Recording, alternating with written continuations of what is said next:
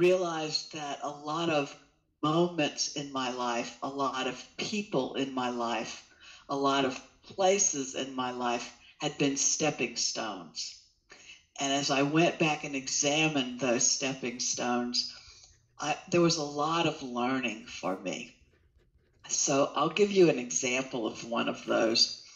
Um, this may be my oldest possession, and I write about it. That turtle was a real stepping stone for me.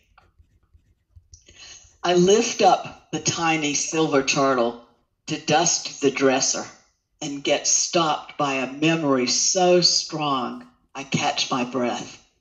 The turquoise stone in its head draws me every bit as much as it did the first day I saw it in a Charleston antique store with my mother and grandmother when I was five or six.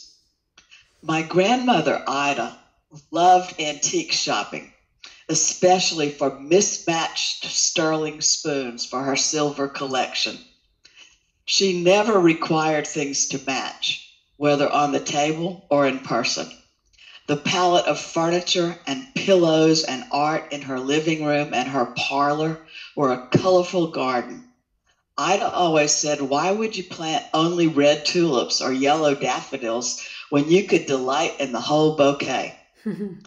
the small dark object in the case was just at my eye level, barely three inches from nose to tail the turtle stood out to me among the larger and heavier vases and pieces of jewelry. Ida politely asked Mr. Hildebrandt, standing in his leather apron behind the counter, to let us have a closer look.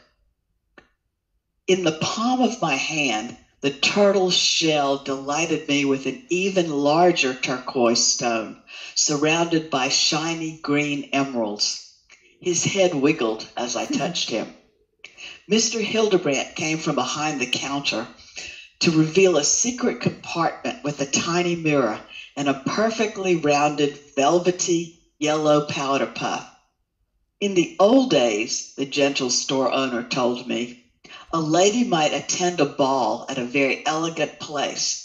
She would carry this compact in her handbag, and then she might open it in the ladies' room and discreetly powder her nose so it wouldn't shine.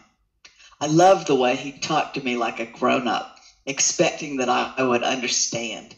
The turtle was becoming more of a treasure each moment. How much? my grandmother asked. Twenty dollars. Even before my mother objected, I knew that was expensive. Mother, she doesn't need that.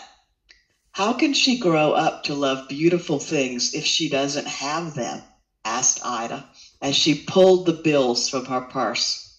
Mr. Hildebrandt carefully wrapped the creature in tissue and put it in a small bag.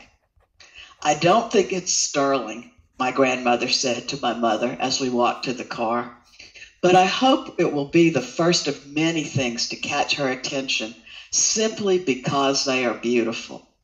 I want her to understand that beauty needs no reason, no justification. I hope she will always open her hands and heart to welcome the beauty she loves.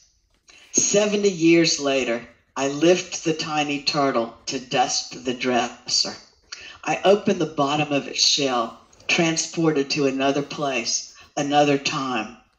The mirror has some dark spots around its edges and the puff has been lost in some unknown place. I feel the same joy, the same delight, the same awe.